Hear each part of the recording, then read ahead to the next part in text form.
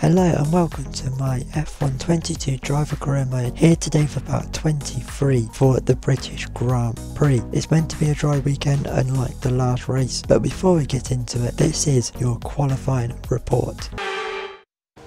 So it didn't start off great in qualifying, we had an oil leak at our home Grand Prix but eventually the team managed to sort that one out and we did manage to get ourselves out onto the track it wasn't the best of laps. I'd never been quick round Silverstone. The first lap, we were slowest. And then on our final run at the end of qualifying, and it still wasn't a good lap. We found loads of time, but still not enough for being pushed around the track by the car behind. We go wide, but it's still only good enough for P20. It's time to see how our drivers are stacking up after yesterday's exciting qualifying session.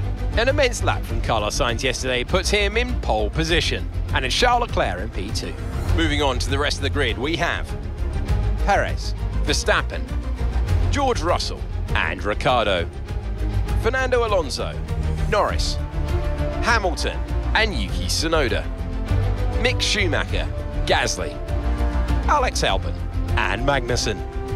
Ocon, Stroll, Robert Shwartzman, and Guan Yu Zhou, Brown, and Nicholas Latifi.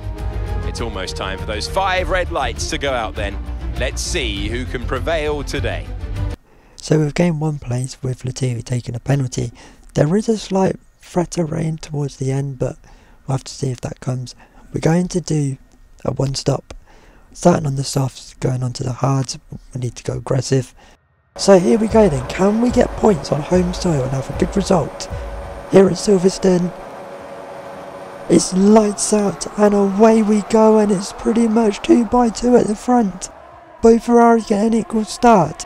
Leclerc from Poldo as their side by we nearly hit the back there of an Alfa Romeo. We've nearly sliced the back of our teammate as well as we dive bomb down the inside into village. We've gained some places there as we look to go round the outside of the Williams and Ocon in the AlphaTauri and we get both we on the exit side by side with Esteban Ocon. As we head down the Wellington Straight those ahead very much gone already. Round the outside we go on Esteban Ocon in the AlphaTauri we forcing a long way around the Luffield and we get the job done through the kink of Woodcote and now we skip on to the hangar straight as we made a little mistake coming off the back of Chapel and now Ocon tries to go to the outside but we go wide and he sent us to the shops there as Esteban Ocon waits for us to run wide goes to our inside but he's locked up. Ocon's locked up and now the Williams behind I think could possibly have a go. Look at the gap already to the cars behind. As we go off at Chapel one lap later and Ocon has another chance to get past us and this time it might well be checkmate. But we hold it around the outside through Stowe. Now we're going to be wheel to wheel going into the Vale chicane. And we're on the inside, there's nearly contact there. Ocon be pushing right off the track around the outside. Goes Alex Albon into the Williams. And it's a great, great move from him. We've massively helped him out there now we go with with Albon, which is pretty, pretty much a home Grand Prix for him, sort of, as we nearly hit the back of Albon there, nearly slides off his tyre, so now heading down through into Stowe, and we have gone wide, we've gone all wide and off the track at Stowe, and now Ocon, with a think it's about round three, could have a go, but he's too far back, but we have locked up and gone wide, through the Vale chicane, Ocon's gone through, and now Lance, our teammate, could have a little look at us. Now we're side by side down Hamilton Straight. And we keep it pinned around the outside through Abbey, through Farm.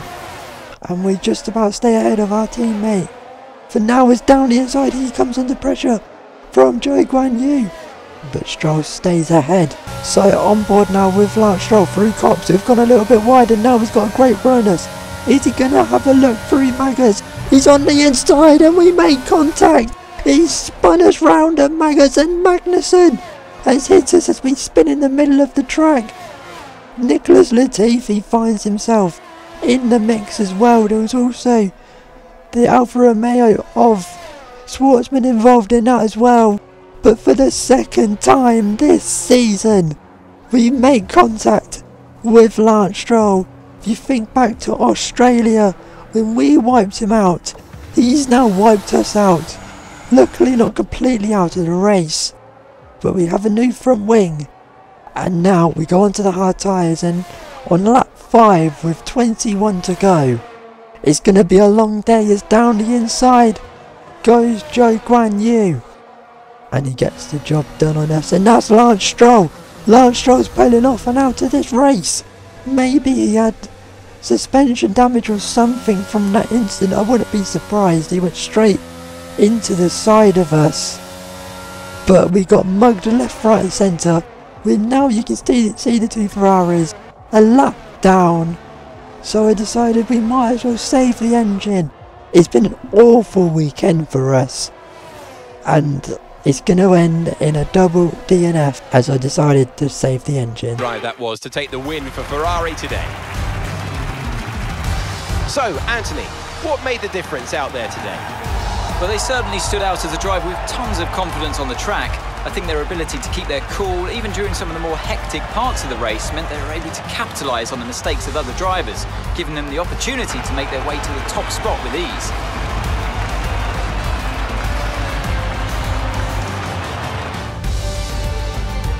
Here come our winners now. A thrilling race and a tremendous effort by Ferrari. Their history is well known, so it's no surprise to fans the world over to see them come out on top once again.